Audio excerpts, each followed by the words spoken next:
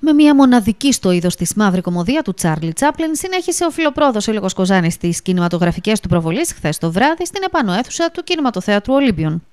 Ο κύριος Βερντού, μια αμφιλεγόμενη στην εποχή της κομική μεταφορά της ιστορίας του Λαντρί, διαβόητου δολοφόνου γυναικών, με την οποία ο κορυφαίος δημιουργός επιτίθεται με το δικό του ξεχωριστό τρόπο στο αμερικανικό πολιτικό καταστημένο, με αποτέλεσμα να μπλοκαριστεί η ταινία από τα αμερικανικά σινεμά και να εκδιωχθεί ο ίδιος, μπαίνοντας αργότερα στη μαύρη λίστα του μακαρθισμού.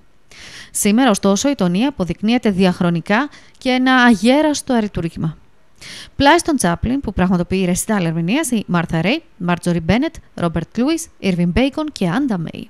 Προτελευταία προβολή απόψε από το φιλοπρόοδο Σύλλογο Κοζάνης, εδώ στην επάνω αίθουσα του κινηματοθέατρου Ολύμπιον, με μια ταινία ξεχωριστή, ιδιαίτερη θα λέγαμε, ένα ε, αριστούργημα, άλλο ένα αριστούργημα από τον κορυφαίο ε, δημιουργό τον Τσάρλι Τσάπλιν.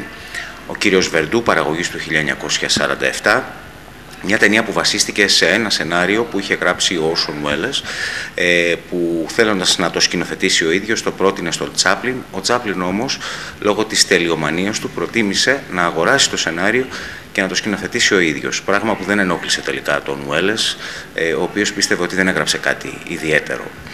Α, κάνοντας βέβαια κάποιες αλλαγές, ο Τσάπλιν ε, μεταφέρει στο σινεμά με κομικό τρόπο ε, την γνωστή ιστορία του Λαντρί, του δολοφόνου των γυναικών.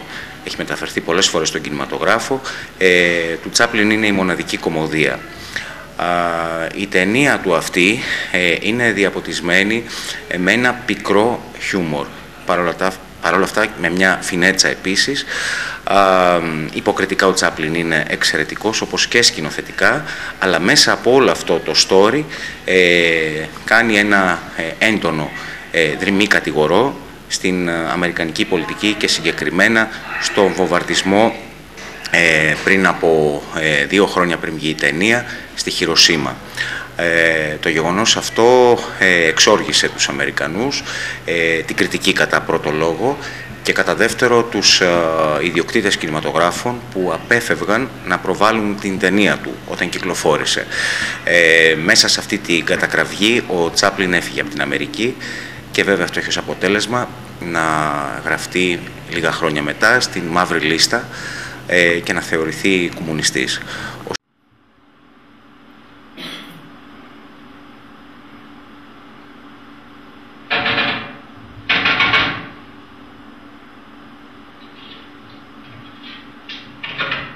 Good morning, Mr. Good morning. From the DuPont Employment Agency. Ah, yes, yes, yes. Come in, come in, come in.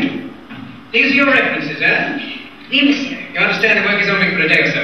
Oui, monsieur. Mm-hmm. What's your name? Louise. Then, Louise, you can start in by cleaning out the drawers and dusting everything. Ah, but before you do any dusting, you'd better take down the curtains and pack them in there. Leave everything on the sideboard. I'll take an inventory of it later.